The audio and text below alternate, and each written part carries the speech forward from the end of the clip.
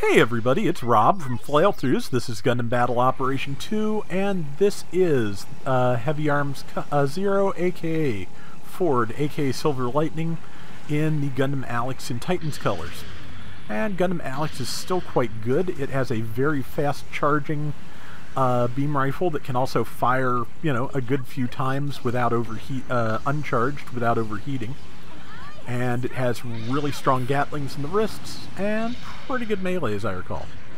So yeah, Alex is good. Would love to see the uh, uh, would love to see the armored version brought in. And Heavy is here with Salty Walty and Seraphic Zero. And yeah, so far so good. 795 to 50 uh, in the first minute or so.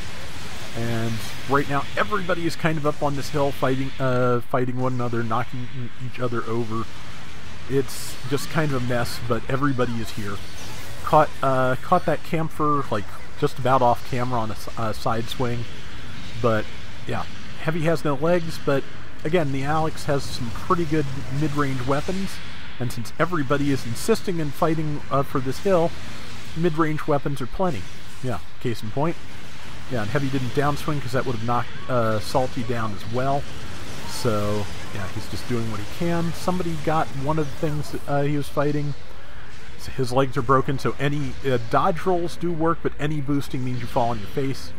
A couple of quick tags there, but yeah, Heavy's going to get out and repair uh, legs until he can boost safely and then get back in.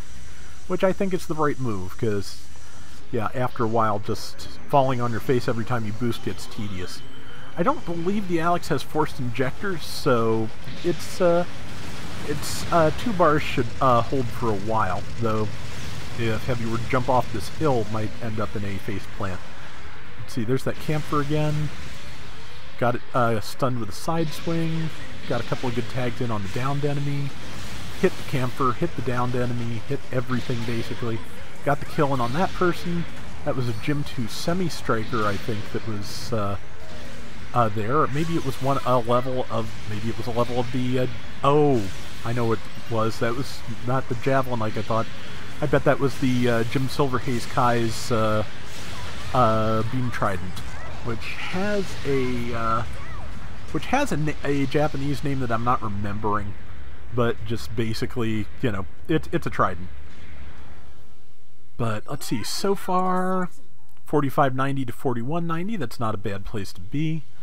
Um, everybody is dead, so they'll be able to coordinate their respawn. That's not bad either. Um, yeah, so, but enemies are in the process of taking point C, which is not going to leave them with any points. That's unfortunate, but that's okay. That also means that uh, there is literally no choice but for everyone to spawn in the same place and hopefully coordinate a little bit. Which, you know, since the enemies don't have all the uh, spawn points closest to their base, it's not a bad outcome. It's not it's not terrible. But let's see, 2572 to that. Yeah, Alex's beam rifle is good, and it's it's another one of those that yeah just looks like ah I don't know what it looks like, but it uh, you know just looks like weapons from you know other things, just like the uh, Riggsy Customs weapon looks like an AK-47, and the uh, Sazabi's beam shot rifle looks like the pulse rifle from Aliens. So know, just just one of those things. You know, a lot of the people who uh, design mobile suits are fans of you know firearms and fantasy firearms and kind of sneak stuff in as is known to happen. But let's see. And yeah, try a couple of low health people there. Uh, heavy stunned one managed to, and somebody managed to uh, tag it. Somebody got the other one, and Heavy got an assist for that as well managed to uh, take the lead here, which is not bad. Yeah, and the uh, Alex's uh, Vulcans are okay. They're not they're not as good as the Gatlings, obviously, but uh, they do have the advantage on this map of being higher up on the body, so maybe a little bit less likely to uh, hit the sides of the trenches rather than uh, the enemy. So uh, let's see, 8680, 255, 60. Heavy's getting some repairs while taking the point. Good call. And, yep, back into the suit and ready for the next uh, next fight. which looks like it's starting now. The enemies are fairly well coordinated here. Um, yeah, so that's always difficult. Uh, Heavy lost his shield, which means the Alex will now be just that much faster. And let's see, support fire is coming in. And see, unfortunately, with uh, with the team kind of clustered here a little bit, it's a little bit uh, dangerous, but it looks like everybody came out of it okay. A couple of people on low health. Number four over here, uh, who's under attack, being one of them. And yeah, Heavy was trying to maneuver around the edges of the of the trench, I think, and that was just, uh, you know, there's collision stuff there. You know, not severe collision stuff in my opinion, but just places where you can you can get caught on scenery a little bit if you're uh, if you're in a hurry. I do anyway, but of course I do that on the other maps too, the, the city and all those. Um, right now, it's 94, 75, 77, 95, but basically the whole rest of the team pretty much is dead and Heavy is fighting two things, Jim, uh, a Galbaldy Beta and a Jim Custom Solar Haze. And, yep, good time to be running, but with two things on you and nobody on the uh, map to help, it's, yeah, there's only so much you can do. Missed the uh, one shot trying to fight the Galbaldy, got it on tackle, and somebody's about to move in. Good dodge, see that person tackled up there. Heavy got stuck on the ledge uh, again, and that was uh, gave them enough of an opening to kill him. Um, again, gives him the chance to regroup with the rest of his team, though, so maybe not the worst news. We will see, but 95-25 to uh, 9700 with about 80 seconds left. Very, very winnable.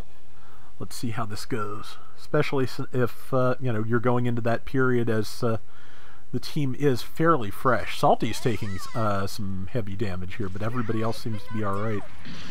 Um, okay, Zero got uh, taken out by something. Uh, they must have just uh, swarmed him.